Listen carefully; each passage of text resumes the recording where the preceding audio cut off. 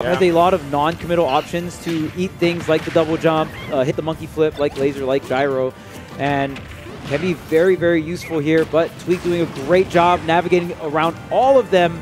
Trying to come back to stage here, back to the ledge. Yeah, I think one of the hardest things right now for zackray is like, it just feels like he's kind of getting the old school damage, right? Like back in the day, oh my god! What? With the Exhaust. what? What with the bear? Okay. All Have right. you guys seen that before? I've seen him do that I've once. never seen I- that. That's kind of crazy.